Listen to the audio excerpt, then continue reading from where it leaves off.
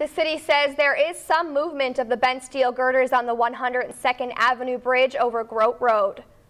A 1,200-ton super crane has been placed on the south side of the bridge, bearing all the weight of the two girders that are The girders affected. are buckled or moved inward. We're looking to get them vertical again, so that's our 100% goal, doing it safely. We've known since the beginning this is a very, very slow process.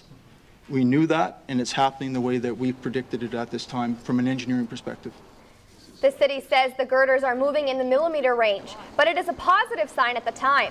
If new girders would have to be put in, they would take about six months to build, pushing the project back almost a year.